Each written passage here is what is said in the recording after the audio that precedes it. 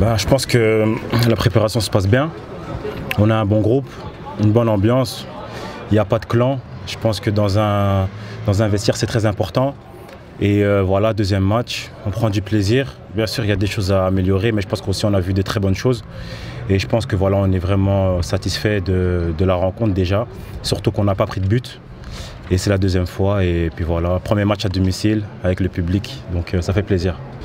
Et euh, voilà, j'ai mis euh, mon petit but, mais euh, avec un travail, un gros travail de l'équipe. Et je pense que voilà, ça fait plaisir, surtout qu'il y a la victoire au bout.